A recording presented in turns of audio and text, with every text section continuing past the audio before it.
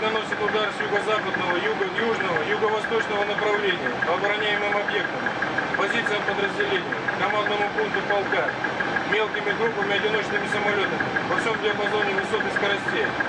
Применяет постановку помех, как из зон баражирования, так и из состава ударной группы.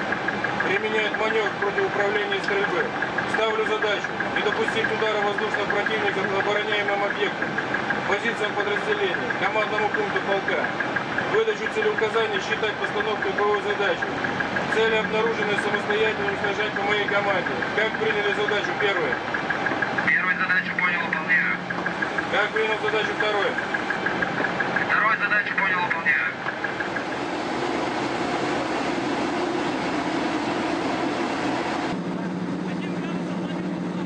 Так, внимание. Второй управляет первым. Третий управляет вторым. По 02 до второго. Вторая зона.